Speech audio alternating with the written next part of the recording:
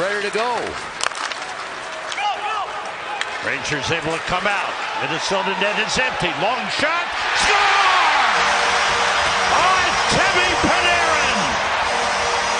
Bullseye! And a multi-point game for Artemi Panarin.